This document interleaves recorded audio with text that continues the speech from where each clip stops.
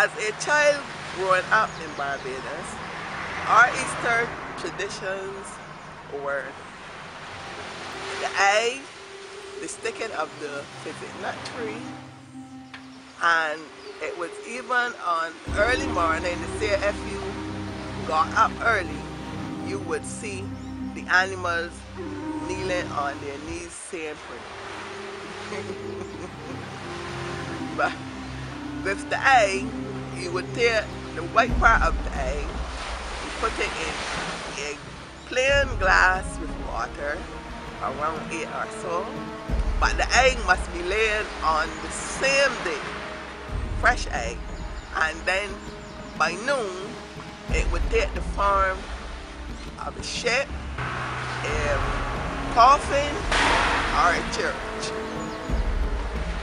The church, someone would marry in time to come.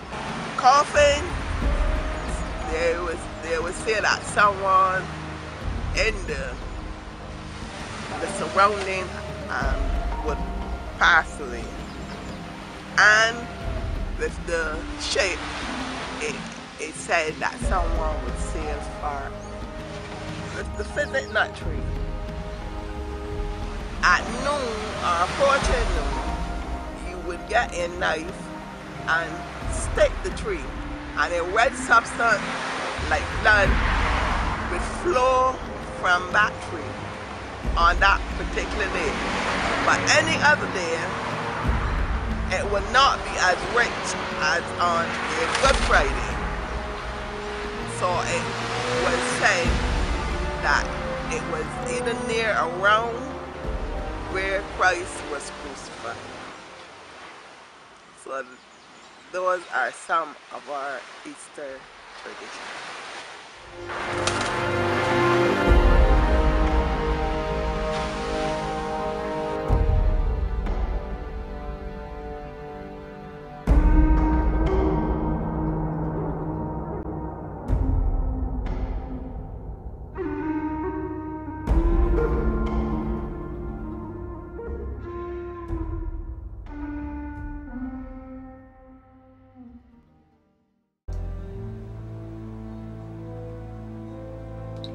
My proper name is Jatropha curcas, but some people refer to me as the Barbados nut, the Persian nut, and most commonly the physic nut tree.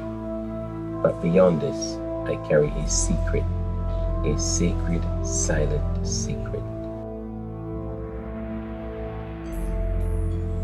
They believe that I was nearby when they crucified Jesus Christ, and every Good Friday, as noon besets the day, I pay the dear price like Jesus Christ did, as he was nailed to the cross to save the souls of Christians all over the world.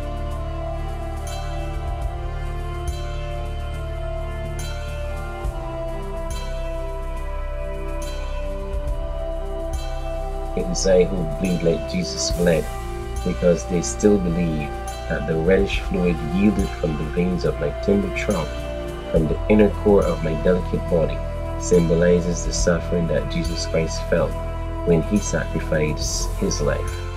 But Christ suffers no longer because he has fulfilled his purpose and promise and has gone to be with his Father in heaven.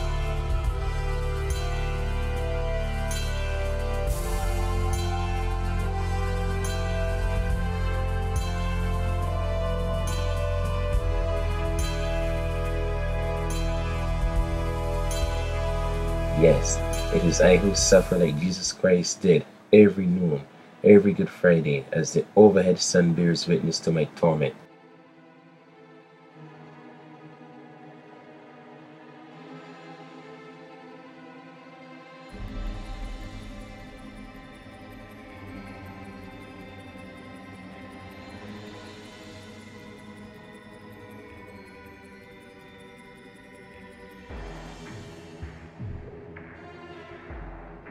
Jesus saith, I thirst. When Jesus Christ therefore had received the vinegar, he said, It is finished.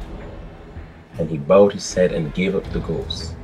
And now, like the sands of the hourglass, these are the days of my life, as I stand as a constant reminder to symbolize the suffering of Jesus Christ, least we forget.